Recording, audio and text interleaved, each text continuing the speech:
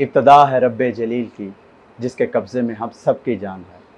नाजरीन, जागती आँखों और सुनते कानों को मेरा सलाम। ये मेरा डायलॉग नहीं, नाजरीन, ये पाकिस्तान, बल्कि यूँ कहिए कि साउथ एशिया के सबसे अवलिन कंपेयर में से एक तारक अज़ीज़ साहब का है, जो आज जागती आँखों और सुनते कानों को अलविदा कह गए। जी हाँ तारक अज़ीज़ साहब आज इस जहान फ़ानी को छोड़ के चले गए।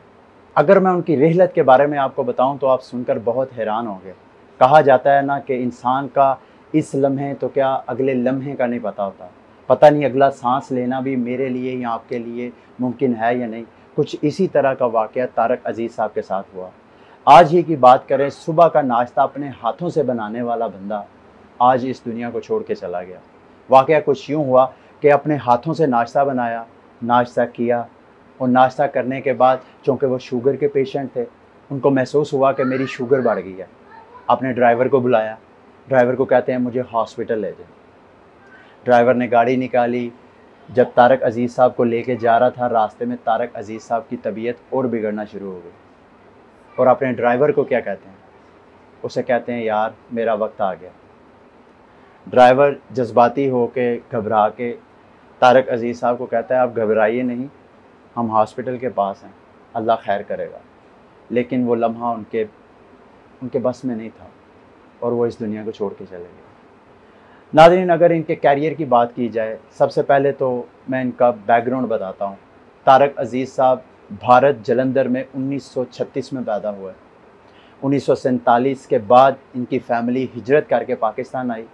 फिर जब ये बड़े हुए, इन्होंने रेडियो पाकिस्तान से अपने कैरियर का आगाज़ किया। उन्नीस सौ चौंसठ में पाकिस्तान टेलीविज़न नेटवर्क, जिसको पीटीवी बोलते हैं, जो हमारा कौमी टीवी चैनल्स है, उसका आगाज़ किया तो उसमें जो सबसे पहले कंपेयर थे, उसका आज़ाज़ भी तारक अज़ीज़ साहब को हासिल होता है।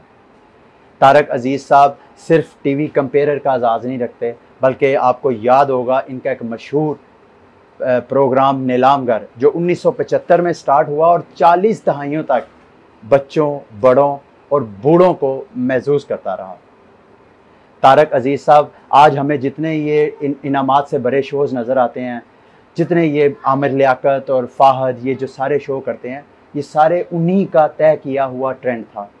ये सिर्फ़ यहाँ तक महदूद नहीं है, वो अपने शो में ना सिर्फ़ लोगों को इनामात देते थे, बल्कि वो सिर्फ़ ये इन चीज़ों के साथ साथ वो इल्म और शौर भी शेयर किया करते थे। और उनका शो बच्चे, बड़े, बूढ़े सब किस्म की ऑडियंस को इंटरटेन करता था। अगर उनकी टीवी कैरियर की बात की जाए तो इसके अलावा उन्होंने फिल्मी दुनिया में भी, बहुत सी फ़िल्मों में उन्होंने पार्टिसिपेट किया। उन्होंने यहाँ तक कि सियासत में भी हिस्सा लिया। 1990 की दहाई की आखिरी सालों में उन्होंने वो हमारे कौमी असम्बली के मेंबर भी रह चुके हैं। तो तारक अज़ीज़ साहब एक हमा जज शख्सियत है। वो इस दुनिया को छोड़ गया और उनकी एक और दिलचस्प आपको बात बताता हूँ। तारक अज़ीज़ साहब की कोई औलाद नहीं है। और इस हवाले से 2018 में उन्होंने ट्वीट की कि मेरी जितनी जायदाद है, मेरा जितना माल मसरूका है, वो सारा मैं पाकिस्तान के नाम करता हूँ। तो नाजरीन इनके वालद साहब की भी मैं जाते जाते आपको एक बात बताता चलूँ। इनके वालद साहब जब उन्नीस सौ अगस्त उन्नीस सौ सैंतालीस में पाकिस्तान आज़ाद हुआ, ये उससे 10-15 दिन पहले पाकिस्तान का नारा, जितनी डॉक्यूमेंट डॉक्यूमेंटेशन थी, उस पर पाकिस्तान पाकिस्तान लिखते आ रहे थे। तो ये इनकी पाकिस्तान से मोहब्बत थी, इनकी फैमिली की पाकिस्तान से मोहब्बत थी। आखिर में जागती आँखों और सुनते कानों से इजाज़त चाहने से पहले सबसे रिक्वेस्ट करूँगा कि तारक अज़ीज़ साहब के हक़ में दुआ करें कि अल्लाह ताला उनके दर्जात को बुलंद करे और उनको जन्नत में आला मुकाम अता करें। अल्लाह हाफिज़।